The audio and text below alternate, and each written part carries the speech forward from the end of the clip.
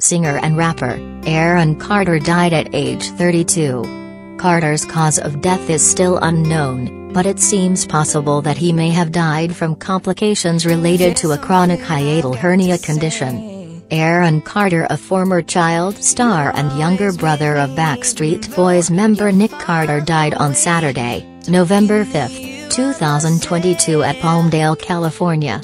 Carter was born on December 7, 1987, in Florida. He began performing at age 7, after the formation of his brother Nick's group the Backstreet Boys, and released his self-titled debut album in 1997 at age 9, selling a million copies worldwide.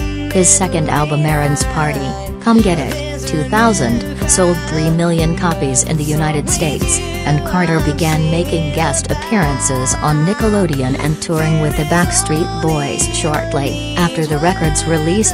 Carter's next album, Oh Aaron, also went platinum, and in 2002 the musician released what would be his last studio album in over 15 years, Another Earthquake, followed by his 2003 Most Requested Hits collection.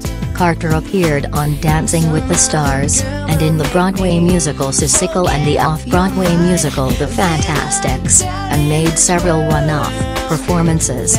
In 2014, he released a single featuring rapper Pat Solo, Ooh Carter released the single Fool's Gold in 2016, and an EP titled Love in 2017. His fifth studio album, also titled Love, was released in 2018. Before Justin Bieber or any other young male artist that entirely captivated the public, there was Aaron Carter, who successfully emerged from his famous brother Nick Carter's shadow.